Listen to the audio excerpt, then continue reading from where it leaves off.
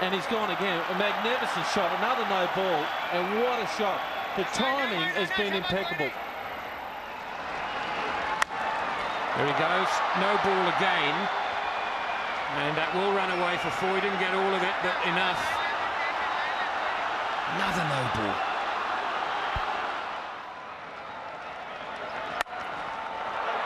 Another no ball, and he's just slogged it.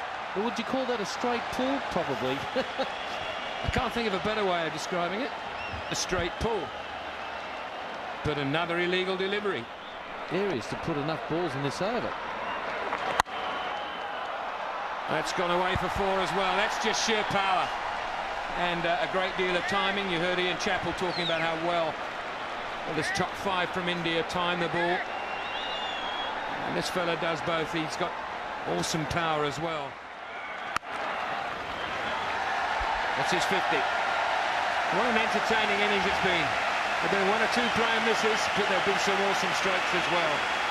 103 for